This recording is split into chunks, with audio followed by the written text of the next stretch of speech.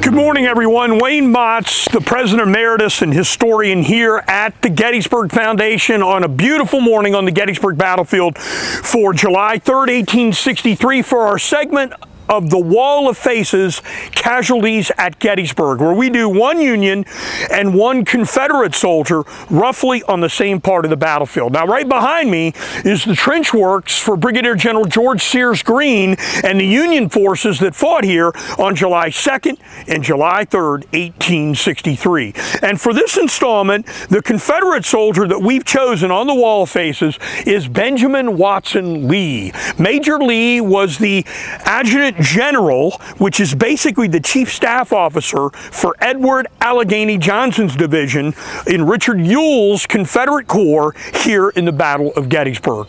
On July 2nd, 1863, when the Confederate soldiers attacked over here at Culp's Hill, they're in the low ground over here behind me in front of where the Union trenches are located here on Culp's Hill. Major Leigh's riding around. His chief job would have been to give orders. Now, he's got a fast fascinating history. He's born January 18, 1831. He's 32 years old here in the Battle of Gettysburg, and he is the son of a United States Senator and very prominent lawyer, Benjamin Watkins Leigh Sr. And as a privileged young Southerner, Leigh, who grew up in a privileged style, will uh, have the best of all the education that he can get and also managing the farms and estates, I should say, of his father. Of course, this will come with a number of enslaved persons. Now, Leigh, at the beginning of the American Civil War, was married. He got married in 1855. He ended up having three children. And in 1861, he will get a commission in the 42nd Virginia Volunteer Infantry Regiment.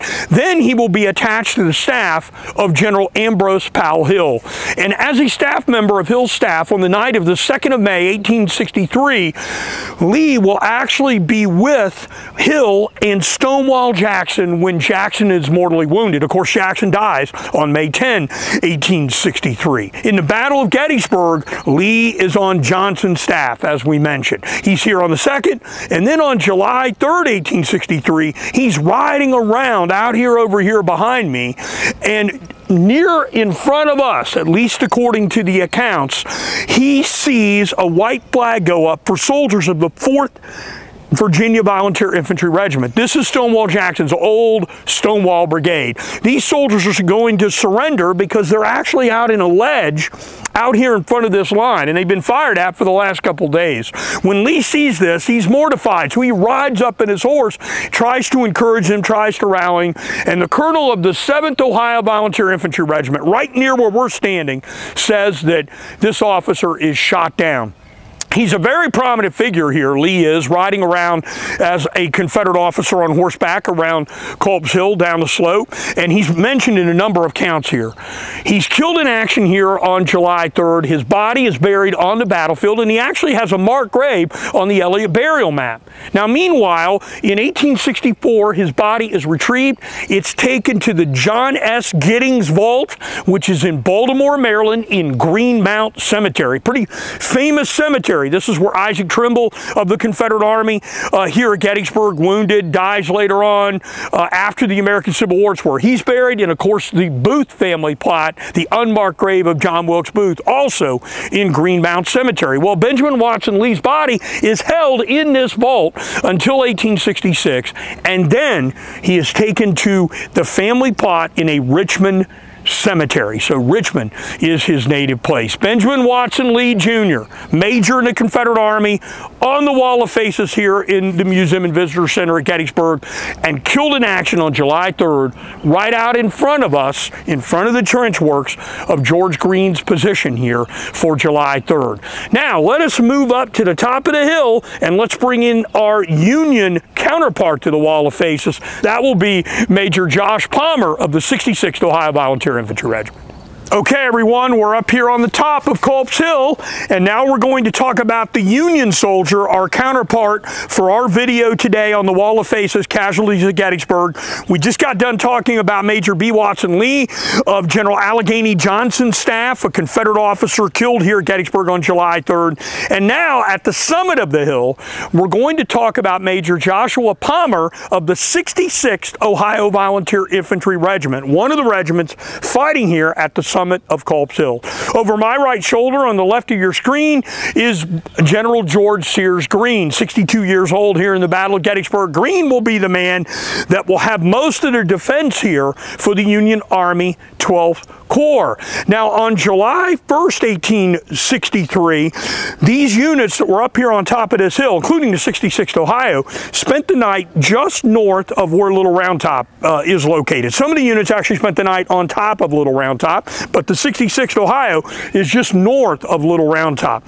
Josh Palmer, who is the major in that unit, is born January 3rd, 1829, and he's from Monroe County, New York. That is uh, Rochester is the county seat, and his uh, native place is just north and west of where Rochester is located. He's the son of Samuel Palmer, who was a very prominent farmer, a Connecticut native, and his wife Rebecca Bowles. Now we know from the census record that the Palmers had quite a nice farmstead there in Monroe County, but Palmer relocates out of Monroe County to Urbana, Ohio, Champaign County. Now that's located west of Columbus, Ohio, which is at the state capital. In Urbana, Joshua Palmer becomes a dentist. And when the Civil War breaks out, he joins the 2nd Ohio Volunteer Infantry Regiment. Then he gets a commission. He becomes captain of Company H of the 66th Ohio Volunteer Infantry Regiment. And then at the Battle of Gettysburg, he has the rank of major. The 66th Ohio spending the night over at Little Round Top, move up up here on July 2nd, 1863, remain here. They're pulled off of this hill to go down to the lower parts of the battlefield, and then they will return. Now, of course, the Confederates are going to be in much of the lower trenches here, but the 66th Ohio will come back up here and uh, have a support line for General George Greene. On the morning of July 3rd, 1863, the 66th Ohio Volunteer Infantry Regiment, with Major Palmer as one of its field and staff officers, will come right over my left shoulder and move down and come perpendicular at a 90 degree angle to these trenches and fire into the Confederate forces that are attacking here on July 3rd. Now let's move down to where Palmer actually is because he's outside this trench line for General Greene.